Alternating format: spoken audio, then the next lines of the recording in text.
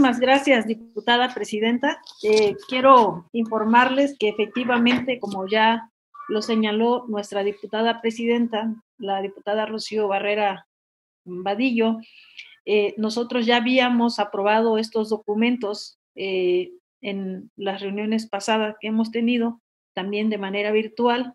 sin embargo, hay ajustes que se realizan toda vez que hay dos iniciativas que, que se inscribieron posteriormente a haber nosotros aprobado este documento de trabajo.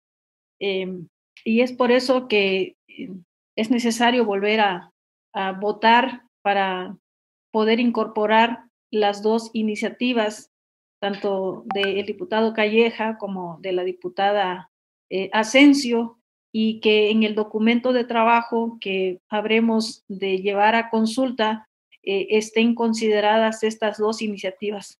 Eh, también en la sesión pasada, donde aprobamos el calendario, donde aprobamos los documentos, este, eh, habíamos considerado otros documentos que sufrieron ajustes precisamente porque ante la situación complicada de pandemia, este, tuvimos que reorganizarnos y ajustar precisamente también el calendario de los foros y es por eso que se hace importante que este acuerdo se apruebe en los términos que se establece ya eh, las, eh, los dos secretarios de las dos comisiones, tanto el secretario David como la secretaria eh, Laura, em, están en comunicación y en reunión permanente para revisar el contenido de este acuerdo y en ese sentido es que se les envió la información em, y recibimos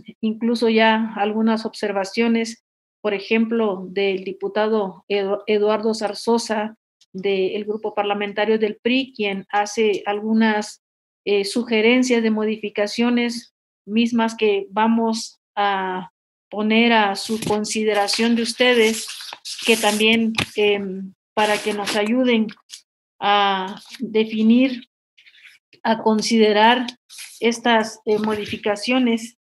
Eh, voy a... Eh, se compartió este documento, ¿verdad? ¿Es este? este de las modificaciones. Sí. Voy a permitirme leer em,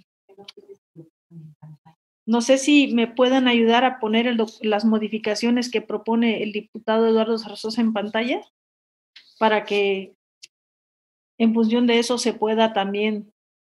Eh, Diputada Irma, solamente quiero hacer una aclaración